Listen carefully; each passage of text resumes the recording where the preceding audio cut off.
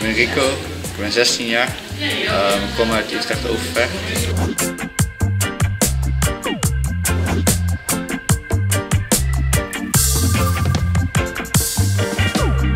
Ehm, bij mijn handicap ben ik lenig.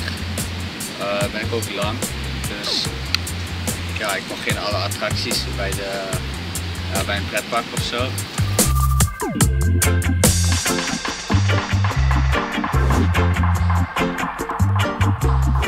Liefst in mijn vrije tijd doe ik basketbal of voetbal.